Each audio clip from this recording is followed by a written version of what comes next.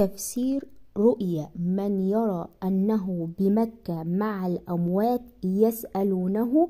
طبعا هذه الرؤية رؤية مبشرة جدا لصاحب الرؤية سواء مثلا بقى إيه, إيه رجل أو امرأة. من حلم أو من رأى في منامه أنه بمكة مع الأموات. إيه طبعا بيسألونه مع الأموات يسألونه.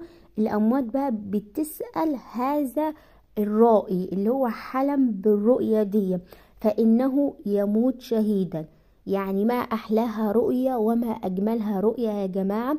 طبعا زي ما قلت لكم إن الرؤية نوعان. هي الرؤية بتبقى رؤية صادقة. فالرؤية نوعان رؤية مبشرة ورؤية إنذارية. من ضمن الرؤية المبشرة طبعا حد بيرى بقى إنه في مكة ومع الأموات يسألونه طبعا بيموت شهيدا. والله أعلم.